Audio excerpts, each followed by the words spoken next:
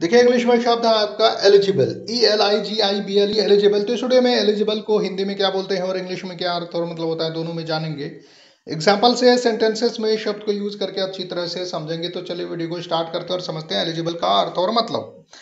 देखिए एलिजिबल मत, बोलते हैं कुछ करने या कुछ पाने का अधिकार रखने वाला कोई व्यक्ति जो कि योग्य होता है. तो मतलब क्या हुआ?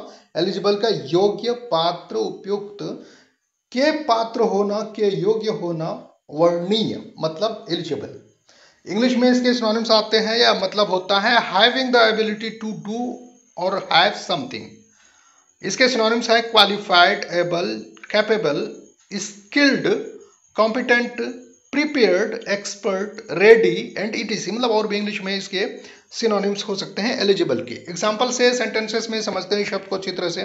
जैसे बोलेंगे, आम बोचाल में तो इस तरह से शब्द को प्रयोग करेंगे। Who is eligible to apply for the Ayushman Bharat health insurance मतलब आयुष्मान भारत स्वास्थ्य बीमा के लिए आवेदन करने के लिए कौन पात्र है? तो एलिजिबल का मतलब पात्र, लायक, काबिल, जिस जो अप्लाई कर सकता है। दूसरा एग्ज़ाम्पल है an employee is eligible for pension after completion of ten years of service मतलब एक कर्मचारी 10 साल की सेवा पूरी करने के बाद पेंशन के लिए हकदार हो जाता है या पात्र हो जाता है।